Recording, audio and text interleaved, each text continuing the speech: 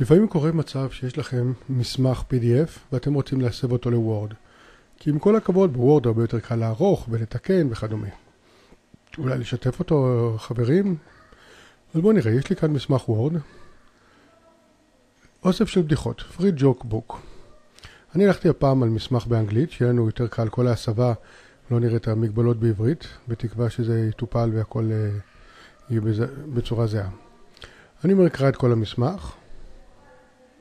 כרגע הוא בודק שמסמך באמת, והוא מעבד אותו בצורה שיכול לעבוד איתו.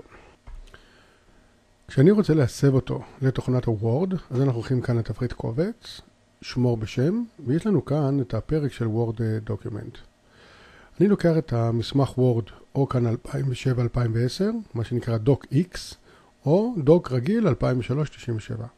ניקח את הגרסה החדשה מן הסתם, ובואו נסתכל לתחילה לגבי הקביעות, לגבי ההגדרות. יש לנו כאן הזרמת מלל, כלומר שזה יהיה רצף אחד, כמו מסמך וורד לכל דבר.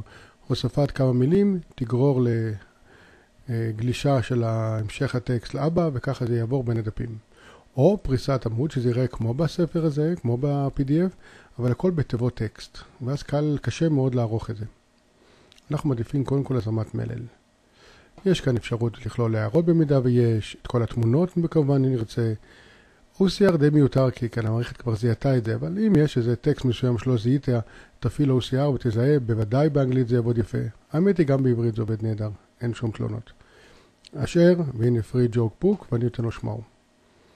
וכאן למטה נראה כבר את העיבוד, הנה הוא מזהה כרגע. מספר שניות והספר כבר אה, נשמר כתוכנת וורד. לאחר סיום התהליך בואו ניכנס לתוכנת וורד ונפתח מכאן קובץ פתיחה. אנחנו באקרובט, באמת יש כאן את הפרי ג'וק, בואו נראה איך זה בוצע. מה תגידו? נראה בינתיים יפה מאוד. כל הטקסט, בצבעים, במיקומים, התמונות עצמם אה, במקומם, לינקים, ממש עבודה אה, יפה. עם כל אותן אה, אפשרויות, אחד לאחד. אין כאן שום במקרה הזה, הכל נראה יפה. בואו נעשה את אותה פעולה עוד פעם, רק הפעם נלך בפורמט בצורה השנייה. אמרנו קובץ שמירה בשם אה, Word, והפעם אני בקביעות, אני בוחר באפשרות לשמור על פריסת עמוד. ניתן לו אישור, גם כאן, נכתוב כאן בספר הזה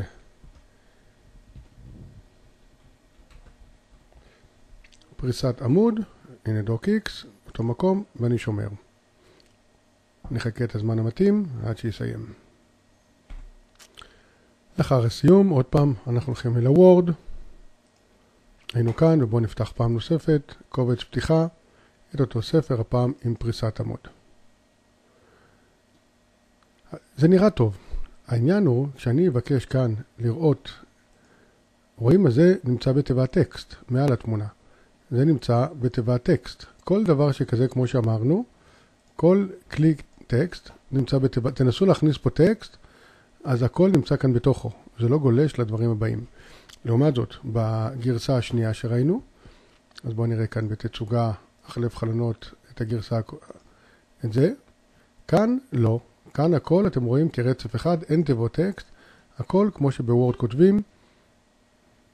אז ההחלטה היא שלכם, שתי אפשרויות קיימות.